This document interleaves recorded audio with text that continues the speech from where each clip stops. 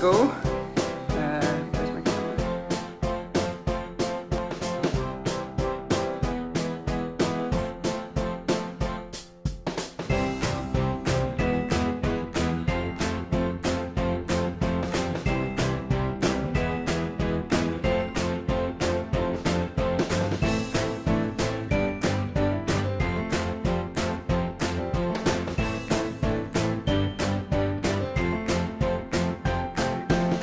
Now, try not to think of what the doctors had to do to identify when the Lego head had passed through their system and try to focus on the good news.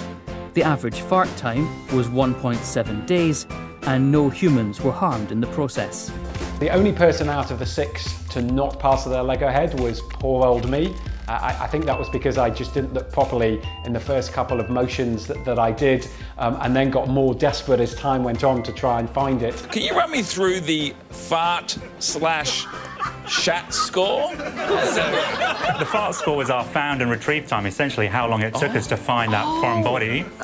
And we wanted to make sure we had a standardised measure of how good people's bowel motions were beforehand. So we used the stool hardness and transit time, the shat score. Check this out. A new study found that it takes about 1.7 days for a Lego to pass through the human body.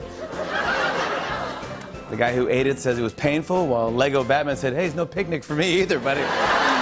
Here in America, one group of scientists just landed a rocket on Mars.